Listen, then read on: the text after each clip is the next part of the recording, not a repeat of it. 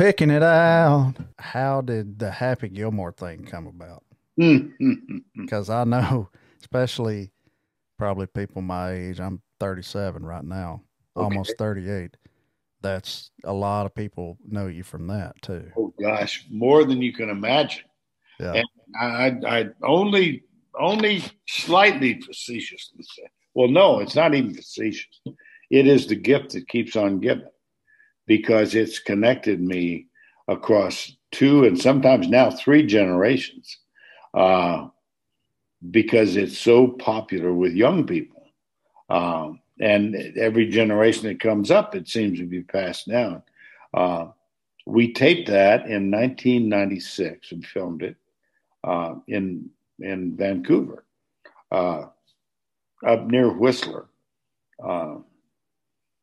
I got a call from my agent, Bob Rosen, and he said, uh, "There's a there's a part in this movie starring Adam Sandler, and uh, I've gotten you a, a, you're you're the guy that they want to use."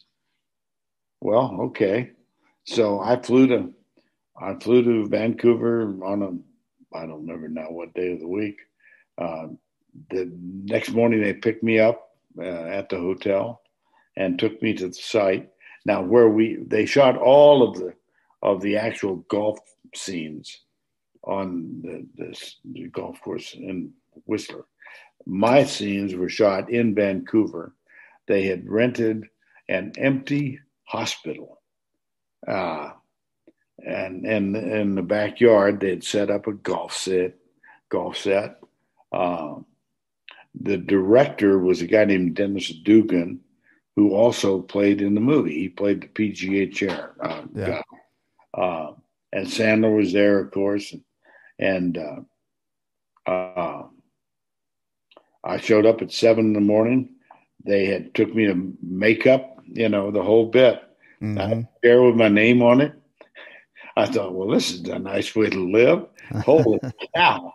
And and then uh, the director said uh, to this really handsome guy that was standing on the fringe of the of the group, he said, Jack, his name was Jack Giarraputo. He said, let's do an inside joke just for us. And nobody else in the world will know what it's all about. But I want you to go over there, to makeup and hair, and get a coat and a, and a nice uh, shirt and tie. And you're going to sit next to Verne in every scene. But you can't say a word because you're not a member of the Screen Actors Guild. so that's Jack who sits there and just nods. it turns out that Jack Giarraputo was Adam Sandler's roommate at New York University Film School. Oh, wow. That's why he was there. And uh, subsequently, I've seen Jack's name uh, as executive producer a lot of Adam Sandler's films. But uh, they hired 400 extras and they, they set the setup uh, whatever they call it, golf. It was a takeoff on the Golf Network, and that's where you know uh, the line that gets everybody for whatever reason. Uh, when I put my hand over the mic and said, "Who the hell is Happy Gilmore?"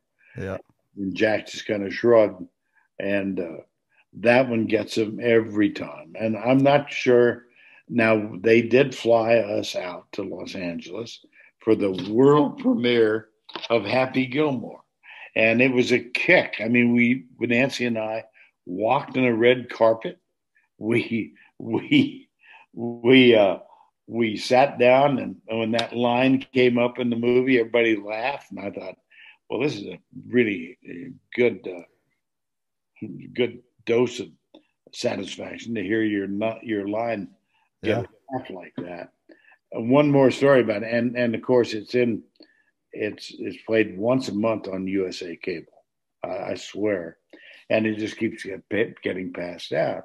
I was doing a game in uh, Arizona, basketball game with Billy Packer, and we had North Carolina at Arizona, and uh, so North Carolina came in, and we Roy Williams was the coach at Carolina, Luke. Uh, Luke, Lute Olson was at Arizona. And Billy and I and the producer and director were sitting in the practice halfway up because Roy didn't want us down on the sidelines because we could hear him uh, curse out his team. Yeah. Uh, so, anyway, after practice, the guys are in post practice uh, uh, stretching exercise. They're laying on the floor. And uh, this tall kid comes loping up the stands and looks in at our little group and he said, uh, Mr. Lundquist, the group would like you to come down and say hello to him. And I said, You mean Billy Packer? And he said, No, they've asked for you. I said, What the heck? So I followed him back down and I'm standing above the prone figure of Tyler Hansbrough, six foot 10 inch All American. And he's got a rope and he's stretching back. And he looks up at me and he said, Okay, now give us the line from Happy Gilmore. and I knew exactly what he wanted. So I did the whole who the hell is happy? And the whole damn team started laughing. and uh, I told the guys, now, if they did win the national title, I expected to shout out for giving them the motivational speech that propelled them forward. Well, they did win the national title, and the ungrateful bastards never said a word. Not a word. uh, you and uh, having you and Bob Barker in there. Oh yeah. Just, uh, well, genius. Bob Barker was, and we got to meet him. He was not there when I was, because I was like the last day of shooting and and uh, but Adam Sandler was there, and and uh, Carl Weathers was there, uh, the caddy, the long shade, shade the caddy, yeah. Chris O'Donnell, who played Shooter McGavin. Yeah, they were all there. I've got it in my home in in the office in Steamboat. I've got a photo of Sandler and the caddy and uh, Chris O'Donnell and the whole group. I'm love to show that one off.